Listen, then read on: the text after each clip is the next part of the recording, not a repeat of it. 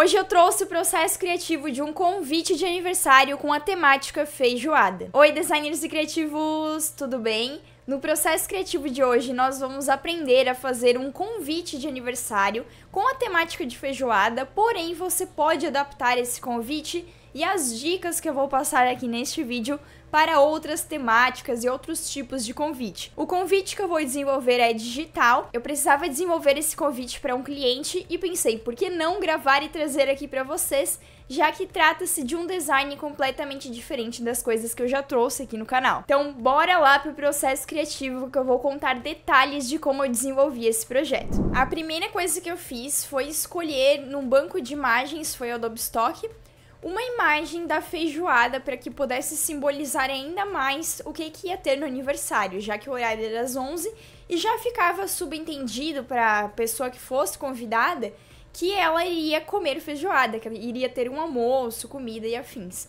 Então eu peguei essa imagem do banco de imagens e recortei cada elemento. Como vocês podem ver ali na minha prancheta, tem uma imagem de referência que foi a referência que o cliente me enviou mas vocês vão ver que eu transformei ela de um modo muito legal e divertido.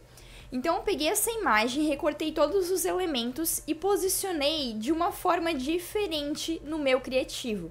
Essa é uma forma muito inteligente com a qual vocês podem adaptar imagens de banco e deixar elas personalizadas, não pegar a imagem simplesmente usar pronta.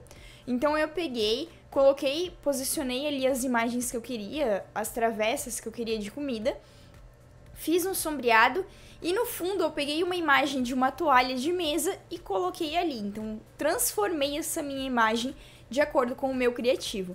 Depois eu fui lá diagramar a informação principal, que o título seria Feijoada do Gabriel, que era o aniversário do Gabriel. Então eu fui lá buscar uma fonte, eu queria uma fonte diferente, um pouquinho rústica, um pouquinho mais despojada, mais divertida, mais solta, alegre, porque era realmente um aniversário de dia que tem esse momento de descontra descontração.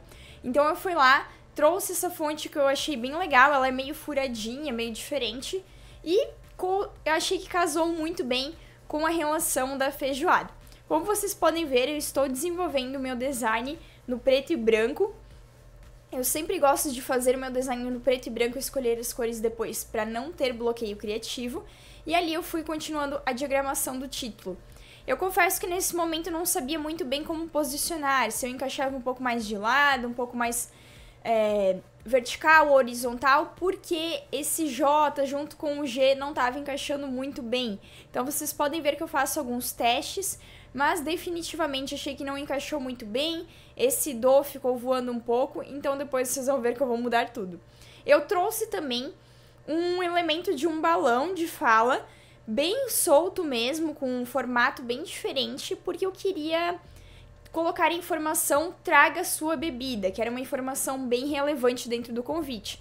E eu precisava que essa informação ela realmente ela chamasse atenção e ela ficasse destacada. Então por isso que eu trouxe esse papel, esse balão de fala e coloquei próximo ali da imagem da feijoada. Eu também coloquei um círculo com o ícone das bebidas do drink. Foi uma ideia minha que eu tive, não vi nenhuma referência, talvez já exista, mas eu tive essa ideia no momento que eu fui desenvolver. E coloquei ali embaixo também confirmar presença até dia 2 de janeiro, que também era uma informação bem relevante para ficar ali no convite. Depois eu precisava diagramar a informação do local do evento. E eu precisava colocar minha casa e também o endereço do evento. Claro que aqui eu coloquei um endereço fictício, mas vocês vão ver que eu tive muita dificuldade de diagramar essa parte. Eu colocava ali no meu criativo, mas parecia que não estava muito legal o alinhamento, o posicionamento, porque uma parte estava posicionada de uma forma, outra parte de outra, e essa informação parecia que ela estava voando no meu criativo, como vocês podem ver ali. Acabou ficando meio esquisito essa, esse posicionamento e acabava que não dava muita relevância, muita importância e ficava uma hierarquia visual que não estava legal. Porque a hierarquia visual, para a gente fazer uma boa hierarquia, a gente precisa agrupar as informações que são relevantes. Então decidi deixar ali e fui para a parte da frase. Ele queria que usasse a frase chegando aos, aí à idade ali de bem com a vida. No caso seria 27 anos, mas eu coloquei zero anos para vocês verem que dá para adaptar para diferentes tipos de aniversários, aniversariantes. Depois eu trouxe esses elementos como se fosse um rabisco para trazer um pouquinho mais de descontração também para esse criativo e dar um destaque legal para essa frase, já que é uma frase um pouco mais descontraída, já que tem a brincadeira do bacon aí.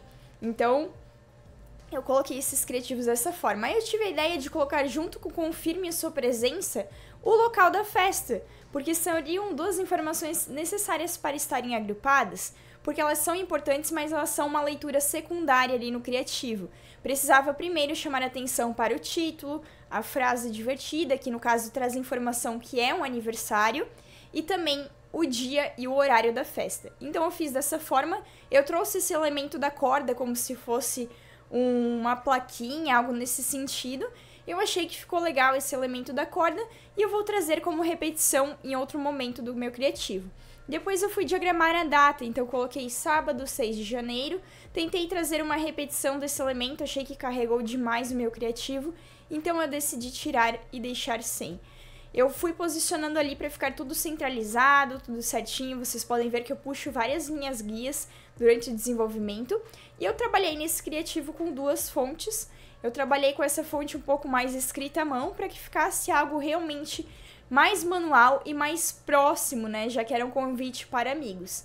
Trouxe o elemento novamente da corda ali para trazer um destaque e para conectar essa parte da, da data do aniversário e ali nas 11 horas eu decidi fazer esse, essa caixa embaixo, que faz uma repetição com a caixa ali da informação do endereço e da confirmação da presença, e também faz uma conexão com o feijoada do Gabriel ali no título, que tem essa caixa escura também.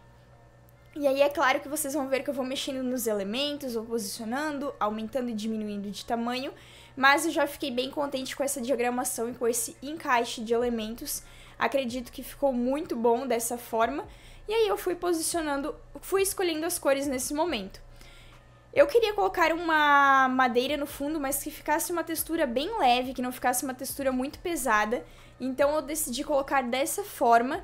Achei que ficou muito bem posicionado e também fui escolhendo as outras cores. As cores que eu escolhi para o meu criativo foram cores que já estavam na própria imagem, para que não dissuasse muito não ficasse muito estranho. Então essa é uma dica muito legal. Escolha as cores do seu criativo com base na imagem também que você está utilizando, caso seja uma imagem com as cores condizentes com o que você quer comunicar. E esse foi o resultado do meu criativo. Eu achei que eu tinha mudado o título, mas na verdade eu fiquei com esse posicionamento mesmo para aproveitar melhor o espaço, então ficou Feijoada do Gabriel. Eu coloquei ali embaixo, chegando aos zero anos de bem com a vida, que tem a brincadeira do de bem com, com bacon, já que tem bacon na feijoada. Então, uma frase muito legal que dá para conectar com o que vai ter na feijoada, com o que vai ter no aniversário. Trouxe logo em sequência a informação da data, o horário também tem informação para trazer a bebida bem destacada e a informação do endereço e para confirmar a presença logo abaixo. Esses foram os elementos escolhidos, trouxe algumas conexões com relação à feijoada, um pouco mais descontraído. Se fosse um evento para mais convidados, um evento aberto, talvez teria que mudar alguns elementos, fazer algumas coisas diferentes, mas eu decidi montar dessa forma para ficar algo mais próximo também e mais pessoal. E aí, designer, me conta se você já fez um convite desse, se você gosta de fazer convites de aniversário, se é algo que você trabalha com ou se você vai começar a trabalhar a partir de hoje.